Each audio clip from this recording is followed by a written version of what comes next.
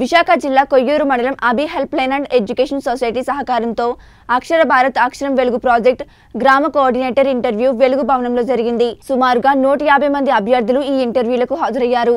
ఈ కార్యక్రమంలో అజయ్ భాను నాగమణి ఎస్ సతీష్ పలువురు పాల్గొన్నారు.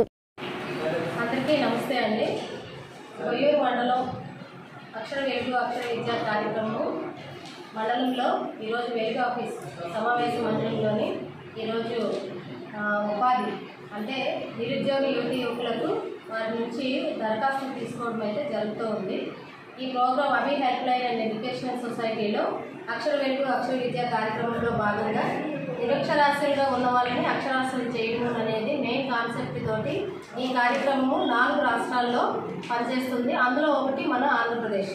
ఆంధ్రప్రదేశ్లో మన కోస్తా జిల్లాలో వచ్చేసి మూడు నెలల నుంచి కార్యక్రమం అనేది స్టార్టింగ్ అనేది జరిగింది.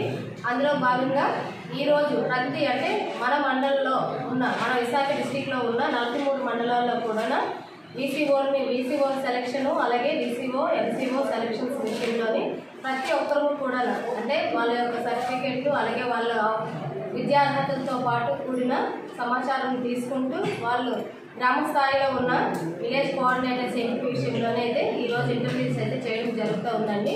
ప్రతి పంచాయతీలో వాటర్ ఐడిని బట్టి వెయ్యి మందికి వన్ పర్సన్ని మనం ఏర్పాటు చేయడం జరుగుతుంది. అలాగే కొయ్యూరు మండలంలో ముప్పై మూడు గ్రామ పంచాయతీల్లో ఇక్కడ వారి జనాభాను బట్టి వెయ్యి మందికి వన్ పర్సెంట్ మనం ఏర్పాటు చేస్తున్నాము. ఈరోజు ఈ సమావేశానికి దాదాపు ఇప్పటి వరకు నూట యాభై మంది యువత యువకులు హాజరయ్యారు. ఈ కార్యక్రమంలో భాగంగా ఇరవై నుంచి నలభై ఐదు ఇరవై నుంచి నలభై ఐదు వయసు ఉన్న వాళ్ళకి మనం ఏ విధంగా చదువు చెప్పాలి వాళ్ళని ఏ విధంగా మోటివేట్ చేయాలి అలాగే వారి చదువు స్థాయికి మనం ఏ విధంగా అర్థం చేసుకోవాలి వాళ్ళకి ఏ విధంగా చెప్పాలి అనే అవసరాలను అర్థం చేయించడం జరిగింది. అలాగే ఈ కార్యక్రమంలోని ఎంపీడీఓ గారు అలాగే ఈఓఆర్డి గారు అలాగే ఈ ప్రోగ్రాం డీసీఓ అంటే డిస్టిక్ కోఆర్డినేటర్స్ కాశీ విశ్వనాథ్ గారు అలాగే నాగమణి మండల్ కోఆర్డినేటర్స్ చింతపల్లి మండల్ కోఆర్డినేటర్ బాబురావు గారు అలాగే కొయ్యూరు మండలానికి మండల్ కోఆర్డినేటర్స్గా సతీష్ గారు అలాగే రమణ గారు ఈ కార్యక్రమంలో పార్టిసిపేషన్ చేయడం జరిగింది. Thank you all